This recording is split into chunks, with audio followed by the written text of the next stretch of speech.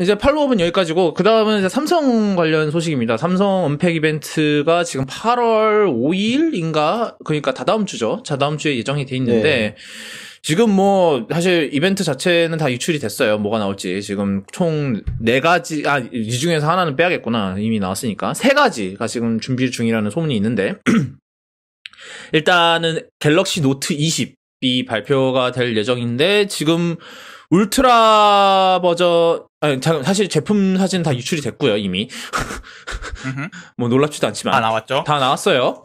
그 울트라 같은 경우는 정말 엄청 아예 숨길 수 없다면 아예 모든 걸 키워버리자의 그런 느낌인 것 같던데 근데 엄청나게 큰 카메라 섬을 가지고 있습니다. 제가 이게 느낌상인진 모르겠는데 S20 울트라보다 더 큰 것 같아요 지금 카메라 네. 부 크기가 전반적으로 더 네. 큰것 같은 기분이고 뭐 카메라 사양은 어 S20 울트라랑 비슷한데 확대 줌 기능이 원래는 이제 사- periscope 줌이 30 S20은 30배에서 끊겼는데 노트 20은 50배로 늘린다는 소문이 있고요. 그 다음에 S펜 지연 시간이 9ms로 그러니까 이게 9ms면 얼마예요? 1000분의 9초죠. 0.009초로 어, 줄은다는 그런 얘기가 있고요.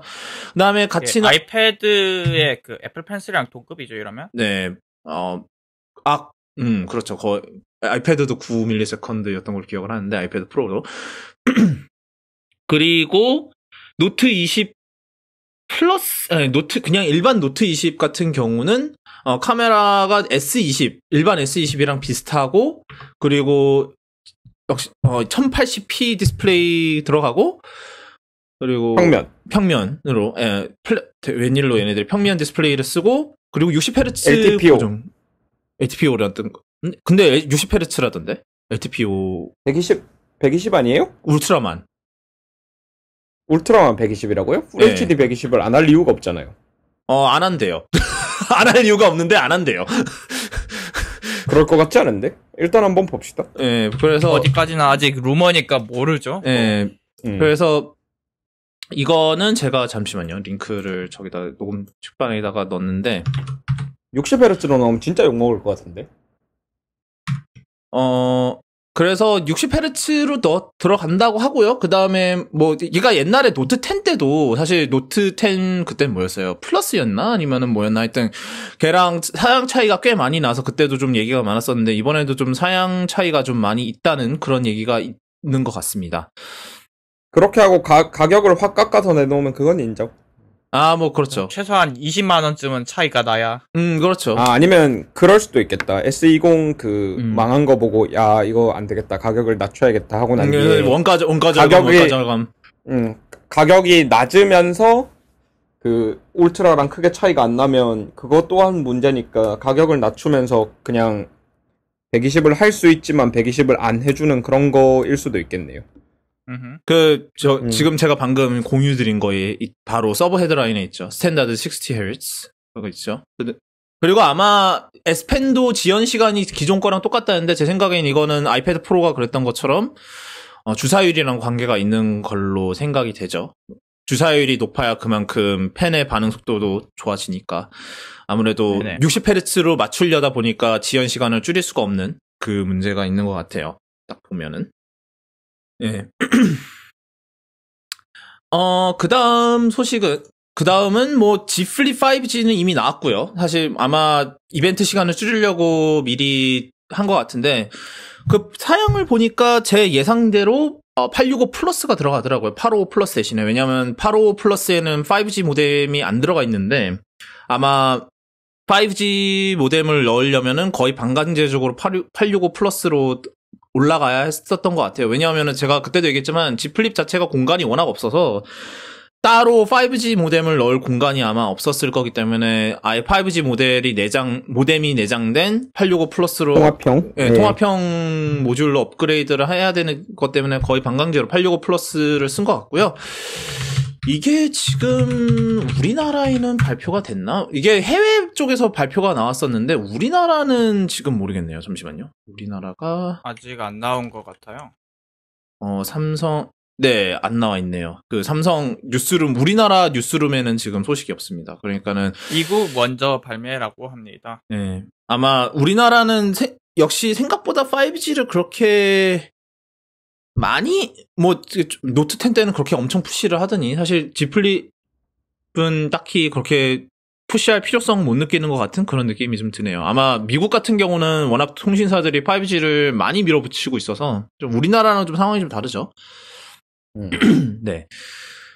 어, 그리고 집, 그리고 폴드 2가 이번에 발표가 된다는데, 이름이 바뀐답니다. 이게, 그, 지- 접히는 애들을 다 이제 Z 라인으로, Z 라인으로 넣는다고 해서 갤럭시 Z 폴드 2가 된대요. 이름이 점점 길어지고 있죠, 지금 보니까. 음흠. 그래서 Z 폴드 2는 뒤에가 뒤에서 보면은 노, 그 뒤에 카메라 같은 구성은 노트 20 울트라랑 되게 비슷하게 생겼고 지금 유출 이미지가 하나 나오긴 했어요. 그 유출 이미지가 굉장히 저해상도 유출 이미지가 하나 나왔는데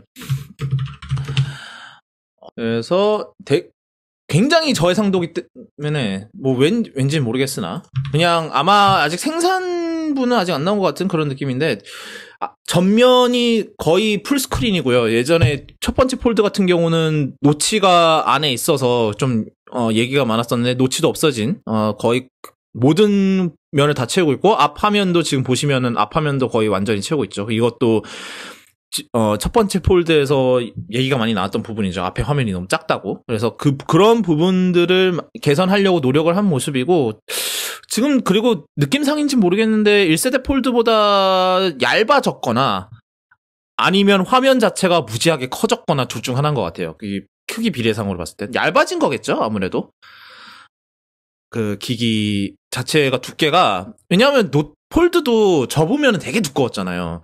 그래서 그래서 그런 것 같은데 아마 이번에도 관건은 어 관, 경첩 부분은 어떻게 쓸련지 또 관건이겠죠. 경첩 왜냐하면 첫 번째 폴드가 경첩이 말이 많았었던 제품이기 때문에 또 경첩을 어떻게 해결을 했을지가 또 관건이 될 것 같아요.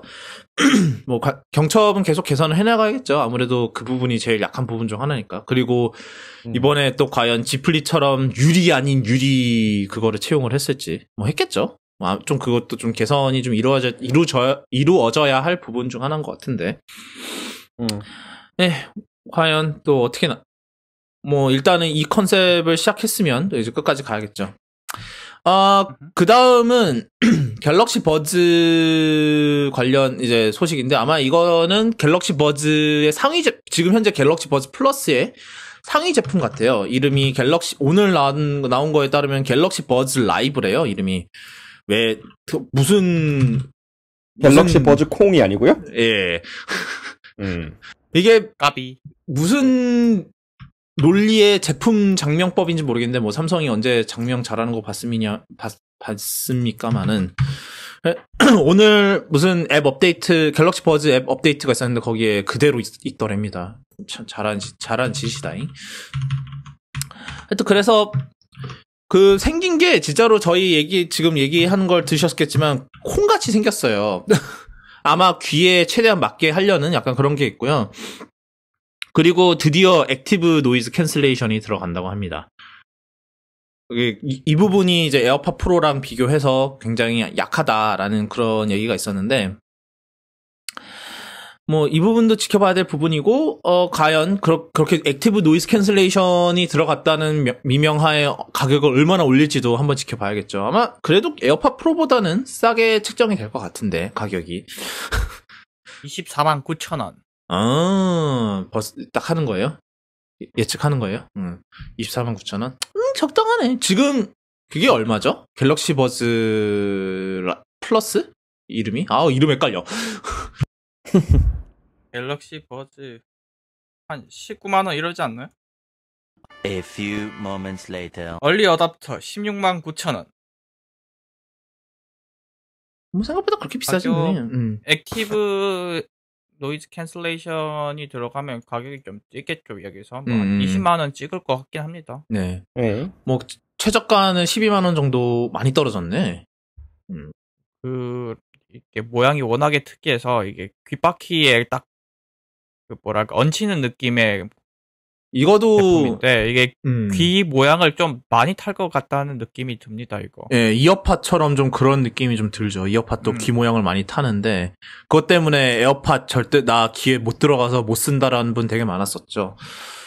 그래서 음. 좀 약간 그것 그걸 탈 것 같은 느낌이 들기도 하네요. 그 근데 이게 대신에 안에 그러면은 커널형이 아닌 건지 그런 것도 좀 궁금하고 이게 안에 모습이 좀 되게 특, 특이하게 생긴 것 같아요. 이게 지금 ear cup을 빼고 이렇게 한 건지 아니면 안에가 원래 이렇게 생긴 건지 이거를 모르겠네요. 안 커널형이라는 이야기가 있더라고요. 뭐 세마이 커널. 그게 뭔 소리인지 모르겠지만. 네. 그래서, 그래서, 뭐, 세, 그러니까 결국은 총 세 가지 제품? 아마 갤럭시 워치도 뭐가 있을까 싶긴 한데, 뭐, 모르겠네요. 갤럭, 워치도 뭐새 기능 몇 가지 나온다는데 그 중에 하나가 낙상 감지. 음, 어디서 많이 오. 들어, 어디서 많이 들어본 기능이죠. 아닙니다. 뭐, 그렇죠. 예. 저도 뭐 그 혜택을 한번 본 적이 있는데. 아, 진짜요? 아, 넘어졌는데 잘 잡더라고요. 아, 예. 아, 기, 기절하진 않으셨고요. 기절해서 막 자동으로 열, 아, 막그 정도까지는 아니었고. 119 전화 걸고 깼더니 응급실이고, 네, 아닙니다. 죄송해요. 네, 그렇으면 예, 기사에 나왔을지도 모르죠. 아, 9 to 5 음. 아, 아니요, 뭐 어디 예. 어디지? 뭐 무슨 뉴스? 노컷 뉴스 이런 데 나왔으려나? 음. 애플워치가 잘하면 그러, 그렇게 한 다음에 팀 쿡한테 음. 굉장히 고맙습니다 이렇게 메일 보내면 keynote에 소개될 수도 있어요. 어. 아니 그 NDA 사인하고 애플 쪽에서 와서 인터뷰 딱할수 있어요.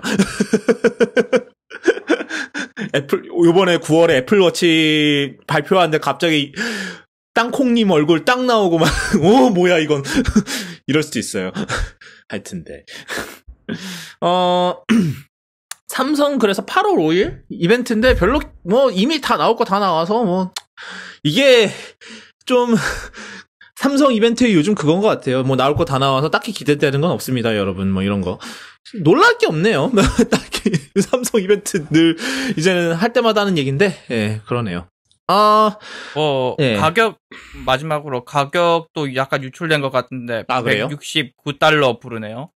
아, 갤럭시 버즈요? 아니면은 버즈, 예, 아, 버즈 라이브. 라이브. 어, 그- 169면 우리나라 돈으로 지금 환율이면 199 이렇게 199? 나올 것 같은데. 199? 아, 근데 99,000원? 배터리가 많이 줄어드네요. 원래 갤럭시 버즈 플러스가 굉장히 각광을 받았던 게 배터리가 되게 오래 간다? 그게 굉장히 강점이었는데, 음. 11시간인가 그랬는데, 4시간 반으로 확 주네요. 역시, noise cancellation의 문제, active noise cancellation 때문인지, 뭐 그런 거 같은데, 시간이 많이 주네, 배터리가. 음. 음.